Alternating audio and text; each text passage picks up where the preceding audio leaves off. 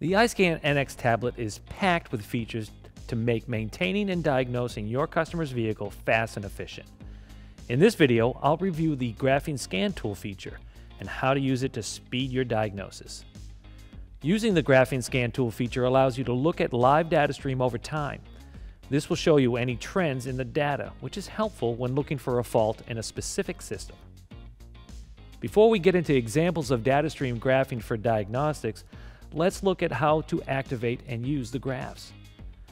Today, I am working on a 2018 Toyota 4Runner. We're going to enter the engine management data stream.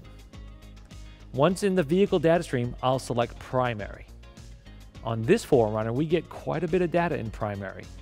When graphing, I suggest selecting only the PIDs you need at that time. This will improve the refresh rates. Each PID is numbered in the order they are displayed, and next to that number is a graph icon that, when selected, opens the PID graph, displaying the data over time. Let's select a few PIDs. When selecting, the number will highlight in yellow. Engine speed. AFS voltage B1S1 and AFS B2S1. You'll see the number of PIDs selected in the far right button. That is the deselect PID button.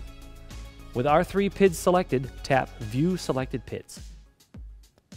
With the PID selected, tap the graph icon to open the graph for each PID. You can view the graph live. Pause the graph and resume the graph.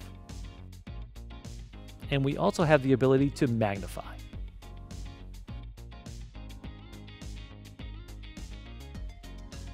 We also have the option to overlay the graphs by pressing the Combine button. You can overlay up to four PIDs at a time. With the graphs combined, each selected PID has been color-coded to match the trace in the graph. You can also select a PID to change the displayed unit of measurement. In our example, we can switch from RPM to volts.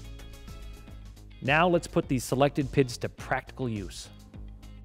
With the selected PIDs, RPM, and both pre-catalyst air fuel sensors, we can quickly determine if the fuel pump can deliver sufficient fuel. You can use this test when you suspect a weak fuel delivery system. With help from an assistant, perform a wide open throttle acceleration test. Be sure to obey all posted speed limits and perform this test in a safe manner. Pause your data. During our wide open throttle test, the AF sensors are reading rich during the entire period of acceleration. This tells us the fuel pump is delivering enough fuel for the engine demand. Let's take a look at another test we can perform using graphing data. Let's back out of our current graphs and look at some other data. One of the more common fault codes set on modern vehicles is fuel trim. When diagnosing fuel trim issues, you can get a look at the whole fuel control picture during a test drive while graphing the data. Let's begin by selecting our PIDs. Engine speed. Throttle position. And short-term and long-term fuel trim for both banks. Tap View Selected PIDs. With the PID selected, tap the graph icon to open the graph for each PID. This is a bit more data than our previous test. In this example, I can select side-by-side -side display, then expand the PIDs you want to graph. This gives us a 6-up view of the PIDs.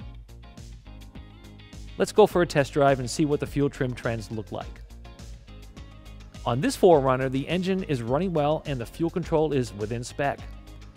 The engine control module is looking for an average between short-term fuel trim and long-term fuel trim. Anything exceeding an average of plus 35 to minus 35% would indicate a fault.